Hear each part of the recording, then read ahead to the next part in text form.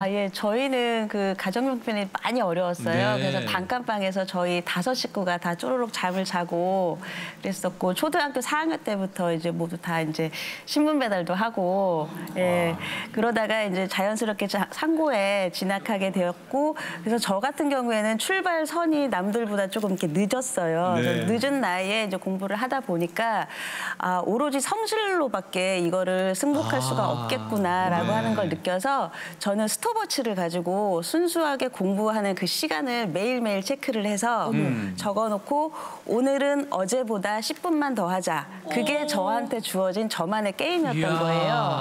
그래서 그거를 해서 오늘 딱 공부 시간 딱 측정을 해가지고 어제보다 10분 더 했으면 와 오늘은 내가 이겼다. 그래서 저에게 저한테 하나하나씩 재미를 줘가면서 그렇게 그럼 공부를 제일 많이 했던 기록은 몇 시간 한 거예요? 하루에? 제가 19시간 찍어봤습니다. 하루에? 예, 예. 가만 있어 봐. 그럼 다섯 시간 예. 잔 것도 아니고 식사도 있고 어머머. 네, 그래서 밥 먹을 때도 아까 이인철 변호사님께서 말씀하셨지만 저는 그 밥을 밥하고 반찬 이렇게 해놓으면은 공부하는 도- 밥 먹는 동안에도 이걸 봐야 되니까 네. 안 되잖아요. 그래서 아예 국밥을 만들어서 항상. 밥 국에다가 밥을 말아서. 말아서 그냥 이 페이지 보면서 계속 이렇게 뜨고 이렇게 해서 공부를 했고 국에다 밥을 말았어요?